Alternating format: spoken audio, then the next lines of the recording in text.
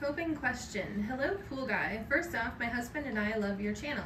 We became first time homeowners and first time in ground pool owners two years ago. And thankfully, by finding your channel, we've been able to tackle a lot of things on our own thus far, thanks to all the knowledge you pass along through your channel. So thank you for that.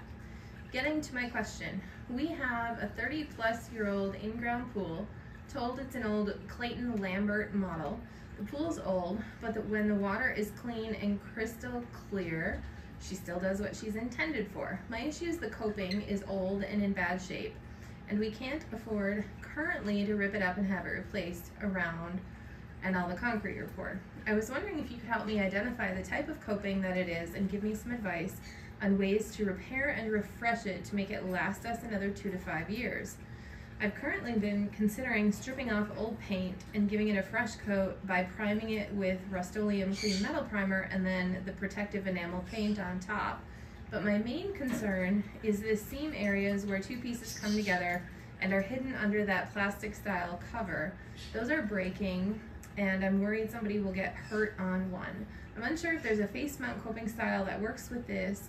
If so, what would it be called and how could I find it? Or do you have any general tips and suggestions on repairing it and the steps that you would take to do that? So I will just show an example of this coping that we're talking about and what you would do to approach it. So looking at the pictures, I am not entirely clear what type of coping that is. With the rust, it, it would indicate that it was, it's a metal coping a, an iron or steel-based coping, although I don't know that I've ever seen one that's not either aluminum or plastic. So that rusting going on, while I guess that it could have been a metal coping back in the day, I've seen thousands and thousands of pools and, and I've never seen a metal coping, an iron or steel coping. It's always been aluminum or plastic of some type. So I'm not sure what's going on there. What I would recommend is there's probably no easy way to replace those clips at this point. You're on the right track, I think, in terms of if I if this were mine, how I would approach it. Is I would first address each of the seams, each of the joints, and make sure that I could come up with a plausible, acceptable, finished look for now until you can afford to break out the concrete, break out the coping, and put new coping in. Uh, some of the suggestions might be, like you said, do some sanding first. Do those spots to make sure that uh, that you can get a smooth surface, and then a filler. Maybe if the, if the coping doesn't quite touch, a lot of times what those clips were is as we installed the as we installed the two pieces of coping, there'd be a little gap. So to cover that gap, you'd put that clip over the front of it that, that clip did two things. It held it in place and straight when we poured the concrete, but then also hid that joint. You might have to get creative in terms of hiding that joint, whether it's sand it down smooth and put some type of a filler in there and get a decent, well, not perfect finish, I'm sure, get something that's acceptable that then you could paint over. And if you can get those joints to look acceptable, then I would go ahead and strip it and paint the whole thing, and, and you might be surprised how well it lasts. The flip side is you might need to get a little creative.